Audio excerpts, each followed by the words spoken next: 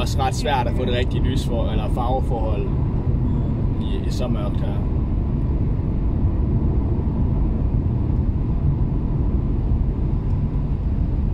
Men det er så mørkt, det bliver her. Og det skulle være meget lysere, hvis det havde været øh, det var 20 minutter over 12. Midt, midt midnat. jo.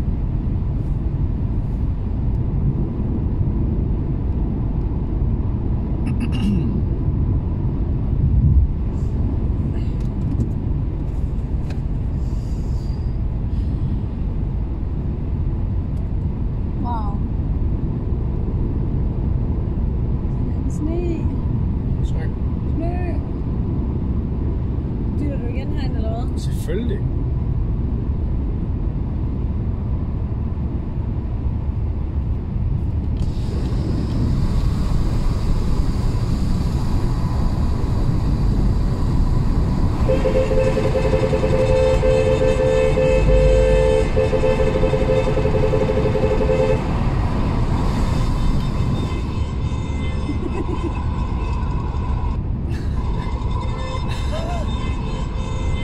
Fantastisk.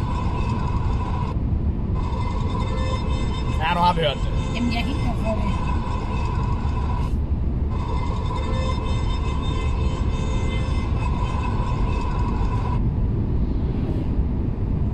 Jeg tror egentlig ikke, der ikke er 90 her som øh, hastighedsgrænse.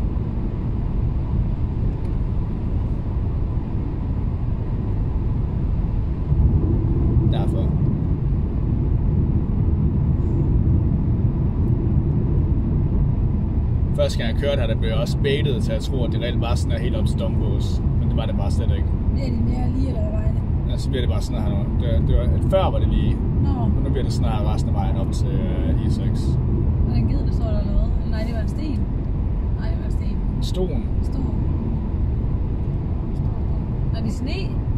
Eller er det sten? Ej, okay, jeg tror, vi det, skal det er en marmorsten.